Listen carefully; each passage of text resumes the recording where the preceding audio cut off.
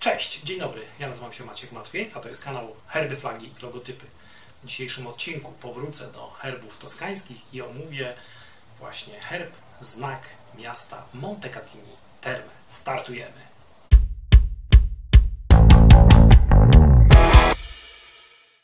Montecatini Terme.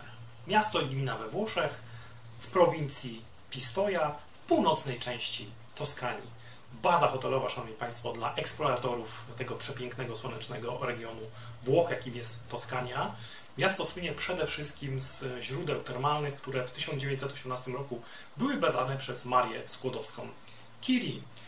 Niespełna 60 km do Florencji, niespełna 60 km w drugą stronę do Morza Tyryńskiego. Naprawdę doskonałe miejsce na bazę wypadową dla tych, którzy chcą poznać e, Toskanię. Zanim przejdę do blazonowania, czyli heraldycznego opisu herbu Montecatini Terme, dopowiem, że został on oficjalnie wprowadzony 12 sierpnia 1908 roku, a gonfalą, czyli oficjalny sztandar, w którego centralnej części również widzimy wizerunek herbu, wszedł w użycie 14 listopada 1900, 1935 roku. Blazonowanie przedstawia się w następujący sposób to tarcza dzielona w pas. W górnej części, na błękitnym polu, widzicie Państwo złoty postument składający się z sześciu części. Nawiązuje to do mm, sześciu toskańskich wzgórz w prowincji Pistoia. Dwa złote, dwa złote lwy trzymające czerwoną misę oraz srebrną tarczę z czerwoną florencką lilią. W dolnym polu widzimy cieniowane od granatowego do jasno-niebieskiego źródła. Pod herbem dewiza Salus, co z języka łacińskiego tłumaczymy jako bezpieczeństwo. Tarcza zwieńczona jest koroną miejską blankowaną oraz gałązkami oliwną i dębową przewiązanymi żółto-czerwoną wstążką.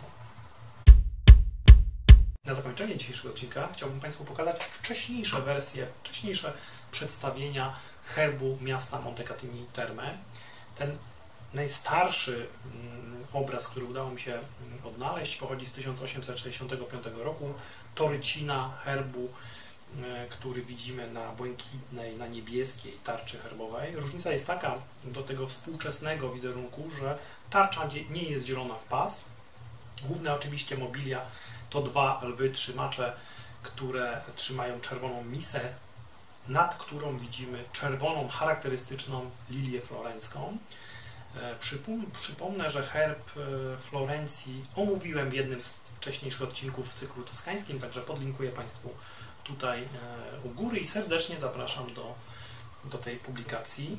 Wracając do herbu, widzimy, że trzymacze, czyli lwy, są oparte o ten charakterystyczny postument w postaci tych sześciu wzgórz, sześciu toskańskich wzgórz. Te, sześcia, te sześć wzgórz będzie się powtarzać chociażby w herbie regionu Pistoia, który Państwu również za chwileczkę pokażę. Kolejny wizerunek pochodzi z 1896 roku.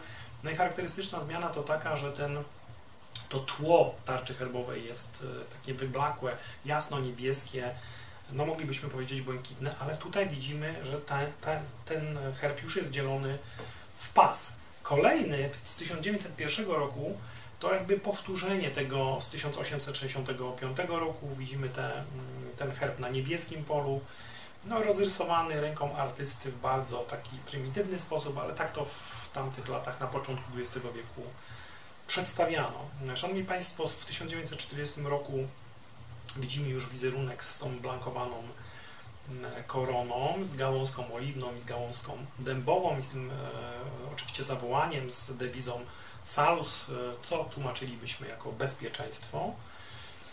No i teraz tak, w 2008 roku miasto rozpisuje konkurs na nowy herb. Widzicie Państwo tutaj jedną z wersji, gdzie korona, pokazuje Państwu tę wersję współczesną i tę wersję właśnie z 2008 roku i porównajmy sobie, e, znajdźmy różnicę. No ta charakterystyczna różnica to to, że E, korona blankowana jest oparta jakby o tarczę herbową, nie jest, jest częścią integralną, a w tym współczesnym e, wizerunku widzimy, że ta korona jest podniesiona nad tarczą, jest po prostu przerwa. Kolejna zasadnicza różnica to kolor wstęgi w tym współcześnie wykorzystywanym przez miasto herbie widzimy, że ta, ta siemka, ta wstęga pod dewizą jest w kolorze czerwono-żółtym, a w tym wizerunku z 2008 roku widzimy, że ta wstążka jest w kolorach tricolore, czyli w, kolorach flagi Włoch.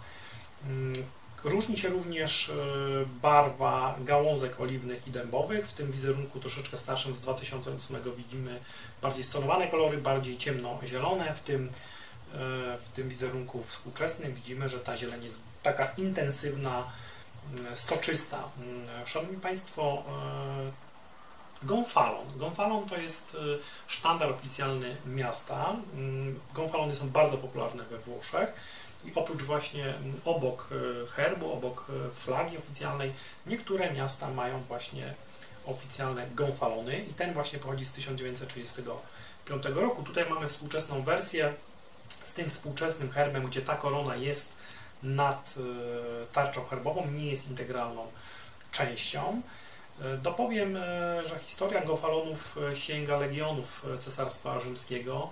Współcześnie są gonfalony bardzo popularne, chociażby w kościele katolickim. Sztandary kościołów nawiązują właśnie do tych wcześniejszych gonfalonów. A już tak całkiem, Szanowni Państwo, na zakończenie przedstawiam właśnie wizerunek, ten, to co powiedziałem wcześniej, herb regionu Pistoja i widzicie Państwo tutaj na tarczy również dzielonej w pas, niebiesko-zielonej, w górnej jej części sześć złotych wzgórz, nawiązujących właśnie do tych wzgórz włoskich, do tych wzgórz toskańskich, które później się znalazły również w herbie Montecatini Terme. Te wzgórza pojawiają się również jeszcze w kilku innych wizerunkach herbowych innych miast toskańskich. Na zakończenie zdjęcie, które zrobiłem przed kilkoma dniami, to jest zdjęcie herbu detalu architektonicznego herbu Montecatini Terme, który możemy znaleźć nad oficjalnym wejściem do magistratu Montecatini Terme. Kolejne zdjęcie przedstawia współczesny wizerunek tego herbu na mapie w centrum miasta. To jest taki miedziory, szanowni Państwo, ale w kolorze widzicie tutaj Państwo, no, że jest to herb również zróżnicowany. To nie jest powtórzenie jeden do jednego z oficjalnego wizerunku, także tak to jest w włoskiej heraldyce, że to uporządkowanie heraldyczne, uporządkowanie graficzne no nie jest tak przestrzeniane jak w innych krajach. Chociażby tutaj widzimy, że ta wstążka jest czerwono-niebieska. Wizerunek, kolor tła jest tutaj również troszeczkę inny. No ale tak, powtórzę, tak to już w tej heraldyce włoskiej jest. Szanowni Państwo, to tyle w dzisiejszym odcinku. Serdecznie Państwa zapraszam do wcześniejszych publikacji. Przypominam, że na moim kanale pojawił się cykl toskański, w którym omawiam znaki właśnie miast, znaki firm, ale również i klubów sportowych z Toskanii. Także serdecznie zapraszam miłośników heraldyki, weksylologii, nie tylko toskańskiej, ale i włoskiej, bo na pewno Państwo znajdziecie tam treści, które Państwa zainteresują. Jeszcze raz dziękuję, pozdrawiam, do zobaczenia w kolejnym odcinku. Cześć!